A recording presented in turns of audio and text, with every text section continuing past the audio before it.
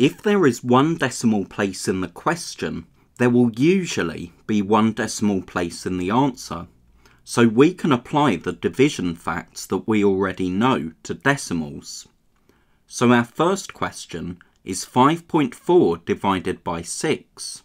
And if we know that 54 divided by 6 is 9, we know that 5.4 divided by 6 is 0.9, so we have one decimal place in the answer.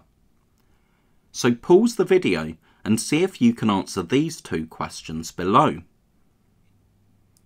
We know that 21 divided by 3 is 7, so 2.1 divided by 3 is 0.7.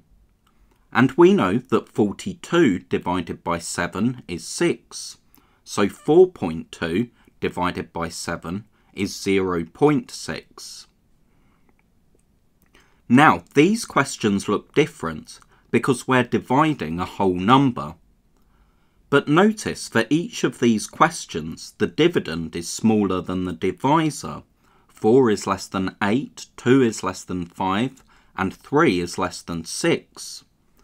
So rather than 4, 2 and 3, we can write out the same questions but with 4.0, 2.0 and 3.0. We haven't changed the question because writing point 0 at the end of a whole number doesn't change it.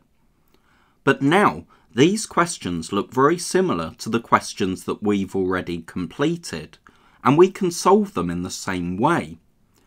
40 divided by 8 is 5, so 4 divided by 8 is 0.5.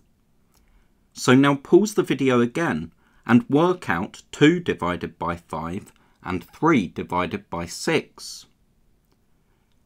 20 divided by 5 is 4, so 2 divided by 5 is 0.4.